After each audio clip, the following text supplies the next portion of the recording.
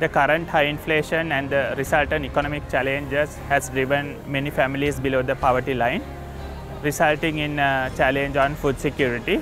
So Dialog and Sarvodaya uh, with like-minded partners have come forward with this initiative on Manudam Mehewara to facilitate 200,000 families uh, spending close to 500 million in this whole initiative. So far we have distributed more than 100,000 packs and we uh, ask the other corporates and the individuals who are willing to contribute towards this worthy cause to come forward and join hand with us. Thank you.